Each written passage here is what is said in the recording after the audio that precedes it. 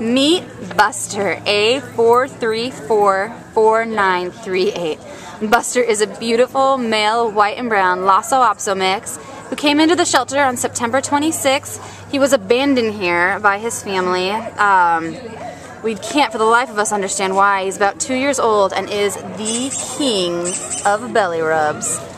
Look at that foot back there kick. He is just the sweetest little teddy bear of a face. He has been good with other dogs. He's actually with dogs in his kennel here at the shelter. He walks well-ish on a leash, so you can tell he may have had a little bit of training. As you can see here, he is 100% affectionate.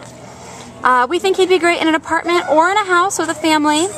As we said before, belly rub king of the world, this guy has the most perfect, adorable face, and he needs a loving home. So we hope you can come on down to the Baldwin Park Shelter and meet Buster.